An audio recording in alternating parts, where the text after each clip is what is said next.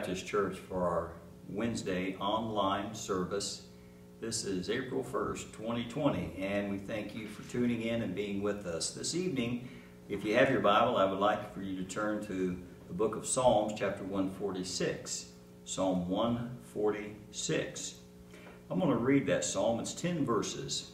And so if you follow along, Psalm 146 says, Praise ye the Lord. Praise the Lord, O my soul. While I live, will I praise the Lord. I will sing praises unto my God while I have any being. Put not your trust in princes, nor in the Son of Man, in whom there is no help. His breath goeth forth, he returneth to his earth. In that very day his thoughts perish.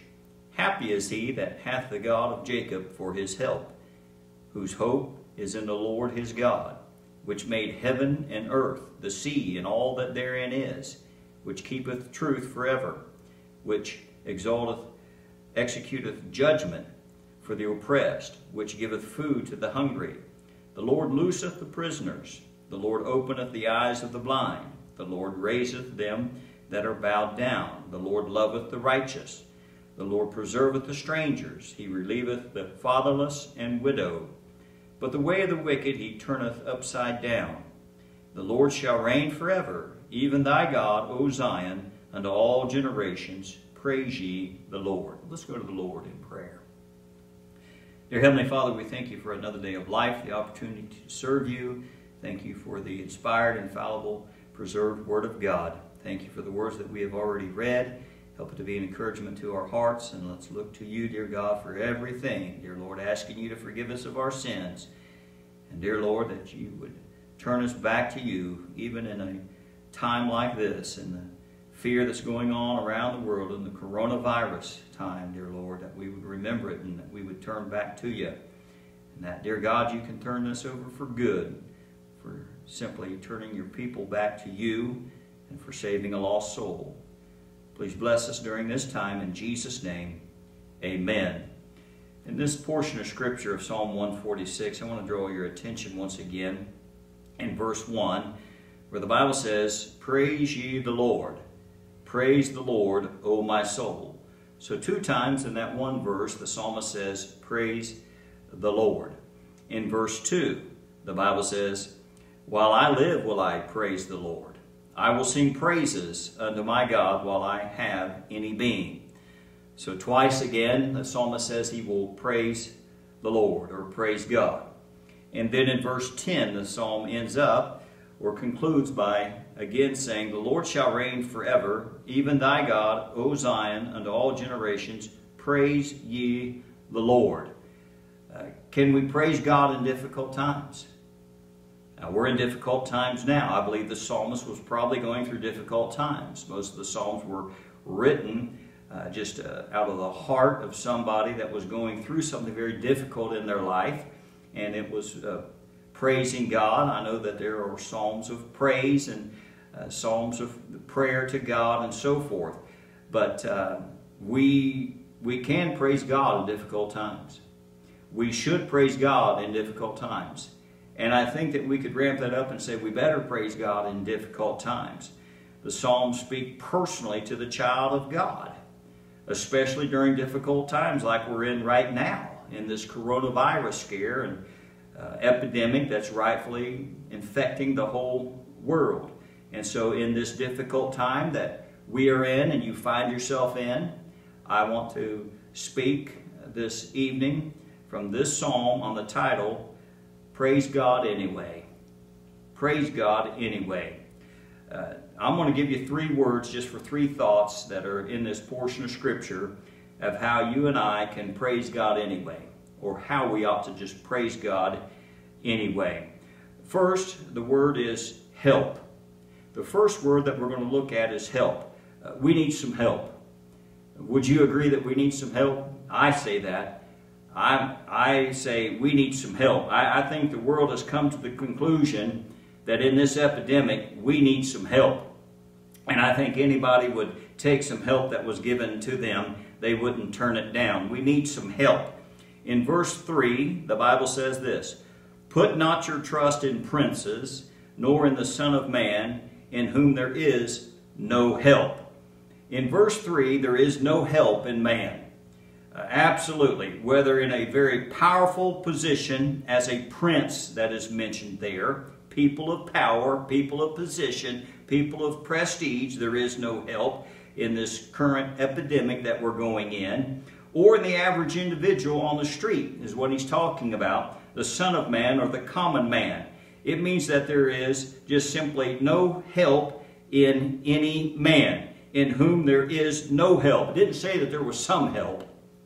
It says there is no help in the sense in you, that you and I think about in this epidemic, in this coronavirus that's going all around the world. Put not your trust in princes, nor in the Son of Man, in whom there is no help. Not a little help, there is absolutely no help. We need some help. We need some help outside of what man can do. Man has already demonstrated that he can't do anything except shut the world down.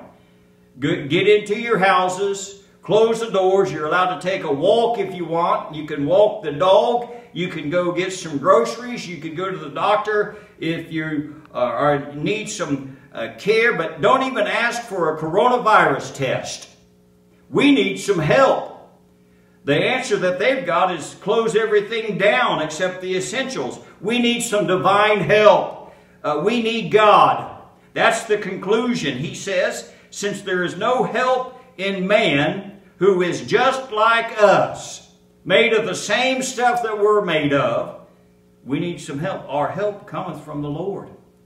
That's what the psalmist is trying to get you to see. That's what God's trying to get us to see. That we need some help, and we need some help from God. Psalm 20 and verse 2, the Bible says, Send thee help from the sanctuary and strengthen thee out of Zion. We need some help out of the sanctuary or sanctuary from heaven. We need some help out of church.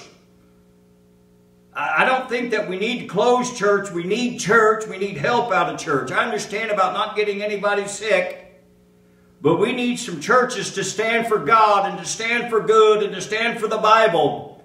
And we need some help out of the sanctuary. Psalm 22 11, the Bible says, Be not far from me, for trouble is near, for there is none to help. This is the cry of the individual. We need some help. Verse 19 of the same chapter, Be not far from me, O Lord. O my strength, haste thee to help me. The psalmist is saying he's humbled himself to the point that he's saying, I need help, I need help from God. Maybe the high and the haughty don't need some help. I need some help. People I know need some help. People in the nursing home need some help. People in the hospitals need some help. People on the street need some help. We need some help. It's not going to come from man. The Bible says in Psalm 33:20, Our soul waiteth for the Lord. He is our help and our shield. The psalmist in Psalm 38 22 says, Make haste to help me, O Lord, my salvation. Please, God, we're pleading, uh, help us quickly before we perish. We need some help. Praise God anyway. Uh, we need some help. I'm not ashamed to admit it. There's nothing that man can do about it. You turn on the TV and they're just as confused as, as we are. We need some help help comes from God. Psalm 40, verse 17, the Bible says, But I am poor and needy. Would you come to that place in your life this evening? Just say, I'm poor and needy. Yet the Lord thinketh upon me. Thou art my help and my deliverer. Make no tarrying, O my God. I need help. Do you need help? Our help comes from God. And we can praise God anyway because our help comes from God in the midst of this situation, in the midst of this epidemic, worldwide epidemic, we can praise God anyway because our help comes from God. Let me give you another word. In verse 5 of our text of Psalm 146, the Bible says, Happy is he that hath the God of Jacob for his help, whose hope is in the Lord his God. Number two, I want to say hope. I said praise God anyway because we have help and our help is in God. Number two, we praise God anyway because we do have hope. We're not without hope. We've got Bible hope. We've got hope in God. My hope is built on nothing less than Jesus' blood and righteousness. We have hope in God. This is real hope. Uh, this isn't uh, imaginary hope. This is not made up hope. This is not a fake hope. Uh, this is better hope than a, a coronavirus check from the government. This is hope that's hope in God. Verse 5, the Bible says, Happy is he that hath the God of Jacob for his help, whose hope is in the Lord his God. This is real hope. This is true hope. This is hope that you can count on. This is hope that you can bank on. This is hope that comes from God. This is hope that's not in the bank, but it's in heaven's bank. It's in the account of heaven. It's uh, treasures laid up in heaven. It's salvation in Christ alone. There's a place reserved in heaven for you. Rust, moth, they cannot corrupt. Thieves cannot break in and steal and take away. This is hope in God. Why is Christ our true hope? From verse 5. Verse 6 tells you. The Bible says, which made heaven and earth. Can man do that? Man can't do that. God did that, and only God can do that. He made heaven and earth. If He made heaven and earth, then He can take care of me. If He made heaven and earth, then He can put an end to the coronavirus. If He made heaven and earth, He can take care of my family. He can take care of this church. And He can take care of the whole world. That's my hope. He made the world. And He alone keeps the truth of it. Uh, verse 7 says this, which executeth judgment for the oppressed. He executes right judgment for the oppressed, which giveth food to the hungry. He feeds the hungry. And then the Bible says, the Lord looseth the prisoners. He saves all the prisoners who will come to him. He loosed the bounds of the prisoners. Verse 8, the Bible says this, The Lord openeth the eyes of the blind. The Lord raiseth them that are bowed down. The Lord loveth the righteous. Why is my hope in Christ? Because He made the world. He keeps the truth. He executes right judgment. He knows what's going on. And by the grace of God, He has permitted this thing, and He can make it to pass. Only He can. He feeds the hungry. He saves the prisoners. He opens up the eyes of the blind who want to see. He raises back up those that are bowed down with problems. And He loves His children. Praise God anyway In the midst of this issue that's going on all over the world, you and I can praise God anyway. You and I can praise God anyway because we have help, and our help comes from God. We can praise God anyway because we have hope, and our hope is in God. Let me say this last. In this worldwide epidemic, coronavirus that's going all over the world and has everybody upset, and everybody at wit's end, and no man knows how to deal with it. God knows how to deal with it. And our help comes from God. And we have hope in God. And then I want to say this in verse 5. The Bible says that we can praise God anyway because in the midst of it we can still be happy. The Bible says in verse 5, Happy is he that hath the God of Jacob for his help, whose hope is in the Lord his God. So when you recognize that man can't help you, that only God can help you, and that your hope is not in what man can do, but what God can do, then you can be happy. This is happiness. Jesus brings happiness to the man. Jesus brings happiness to your home. Jesus brings happiness to this church and to my home and into my heart. Happy is the man who has his help in the Lord, who has placed his hope in the Lord Jesus Christ. Not about what man can do, but what about God can do. Because of what God has done, it's proof of what he can do, and you will never be disappointed in God.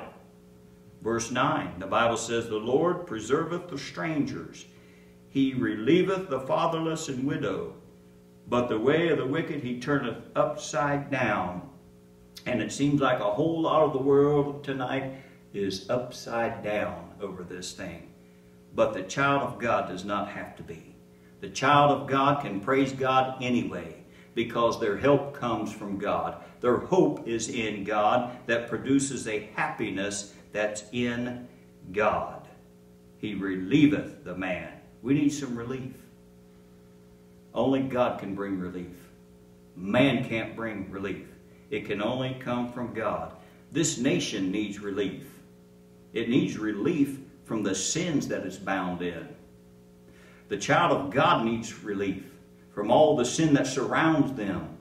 Uh, the man of God needs relief. Happiness is in God. Verse 1 as we close, the Bible says, Praise ye the Lord. Praise the Lord, O my soul. Verse 2 says, While I live, will I praise the Lord. I will sing praises unto my God while I have any being. Verse 10 says, The Lord shall reign forever, even thy God, O Zion, unto all generations. Praise ye the Lord. So according to this passage of Scripture, we can praise God anyway.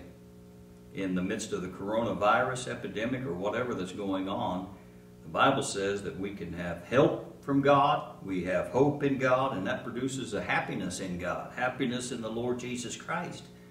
If you and I believe that and act upon it, uh, this evening, if we're looking around at the world, then we're not going to find help. Help is not in man. Hope is not in man. And certainly happiness is not. It's in Jesus Christ the Lord. Do you believe that? This, this evening, I want to ask you this. If you're listening out there and you've never accepted Christ as your personal Lord and Savior, I'd like for you to just take a moment and think about this as you look around at all that's going on, that uh, God is in control. And God could be using this very thing to draw you to Him. God could be using this as a wake-up call to get you to realize that you need Jesus. I want to say this, God loves you, and Jesus died for you. And the Bible says that whosoever shall call upon the name of the Lord shall be saved. If you're not saved, you can repent of your sins. You can realize Jesus is the Savior and you can ask Him to come into your heart and save you from your sins. If you're a child of God, you say, I'm saved, I, I'm on my way to heaven. I don't know what you're going through, but everybody's going through something. And the psalmist was as well. Could you look at this psalm and look at the truth of the Word of God and say, the Bible's right. My help is not in man. My help is in God. And I need some help. God, I need you every hour. God, I need help. And then by the grace of God, your hope. It's not lost, child of God. Your hope is in God. God is in control. He's going to bring us through this. There's going to be a brighter day coming. And one day soon, we're going to be with Jesus in heaven because our hope is in God. You know what that produces in you, child of God? Happiness.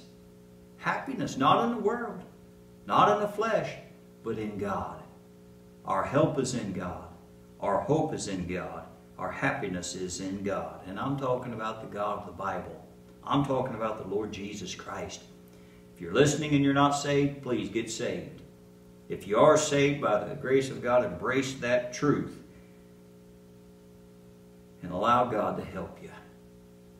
Allow God to give you the hope. Allow God to bring you the happiness that's only available in Him. If we can be of any help to you, you please contact us and let us know. Let's go to the Lord in prayer. Dear Heavenly Father, we thank you for the time that you've allowed us to spend together with you in the Word of God. Praying, dear Lord, that if there's somebody out there that's listening, watching, that they're not saved, dear God, that they would realize that they are a sinner and that Jesus is the Savior and ask Christ to come into their heart and save them from their sins. For every child of God, allow us to realize, especially in a time like this, dear Lord, our help is not in man, our help is in Jesus. Our hope is in Jesus. And that produces a happiness that's only available through our Lord and Savior, Jesus Christ. Help us now, dear God. We are totally dependent upon you. We ask it in Jesus' name. Amen.